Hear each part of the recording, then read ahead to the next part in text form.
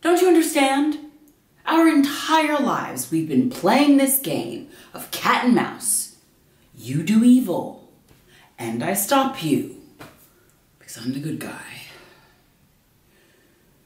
I'm always the good guy, the hero, the savior. Because they need me. They need to see me as, as a symbol of safety, security, so they can rest easy, tucked cozy into their little beds, knowing someone is fighting the evil. now they won't ever have to worry again. I said stop crying already. Do you think this is easy? Do you think I like this? Do you think that I enjoy knowing that the sole reason I exist is to fight battles that aren't even mine? I'm just as foolish as they are.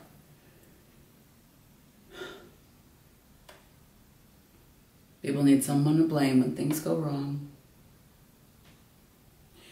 Someone to carry their burdens when they get too heavy. Someone to give their lives meaning.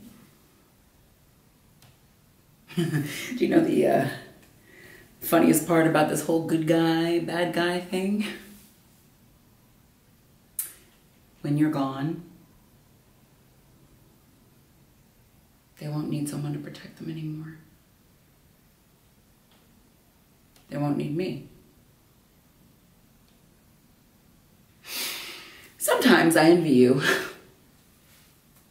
Even now, as you face your death. Do you want to know why? Because tomorrow you will be gone, but they will remember you. They will remember you as the darkness that plagued their lives. They will tell stories of your most wicked acts. After tomorrow, they won't remember me for my heroic acts or bravery, daring. They will only remember me because of you. But what they don't know is that tomorrow I'll be gone too.